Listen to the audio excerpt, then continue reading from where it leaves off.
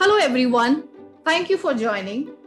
This video is to make an announcement that Muqtasid and me would be hosting a series of discussions on physics topics based on the syllabus of grade 9 and grade 10. We would cover topics from the IGCSE, CBSE and the International Baccalaureate curriculums.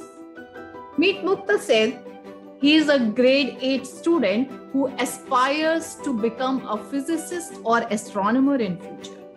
He is a junior science evangelist on Quora and YouTube and a premium grade martial artist. He likes public speaking, participating in cultural activities and theater. He loves sharing knowledge and helping others become successful which is also a big objective of his social work initiative called Prodigies and Pathfinders. I meet Firdaus.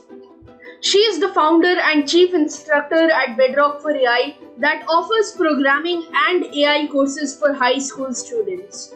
She is also the IGCSE curriculum physics tutor at Prakriti School Noida and the IB and CBSE curriculum tutor as a freelancer. Please refer to the links in the video description to know more. Both Muqtasid and me are also volunteer tutors at Schoolhouse World, which is a global platform for free tutoring.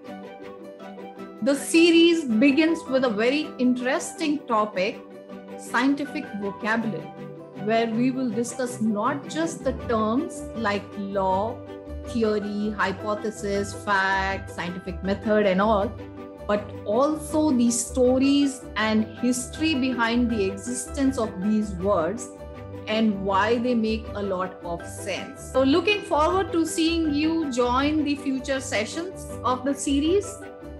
Bye for now, and we'll see you in the next session.